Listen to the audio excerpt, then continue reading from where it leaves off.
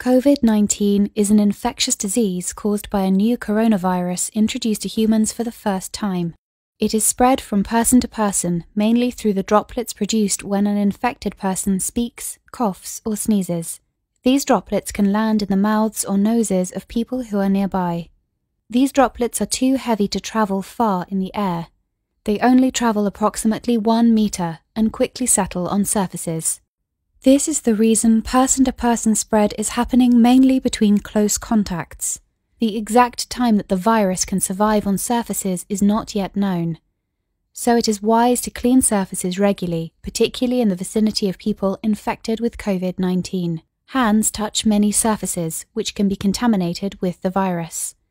You should therefore avoid touching your eyes, nose, or mouth, since contaminated hands can transfer the virus from the surface to yourself. When coughing or sneezing, cover your mouth and nose with the bend of your elbow or use a disposable tissue.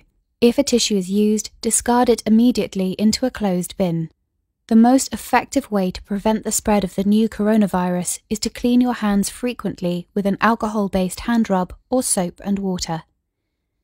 This will eliminate the virus if it is on your hands. Stay healthy and prevent the spread of COVID 19.